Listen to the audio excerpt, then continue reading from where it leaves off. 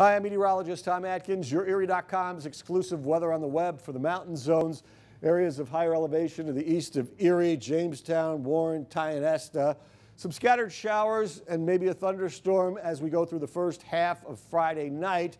That diminishes, but warm and muggy weather continues throughout the weekend. For your Saturday, you're looking at a chance of mainly afternoon scattered storms.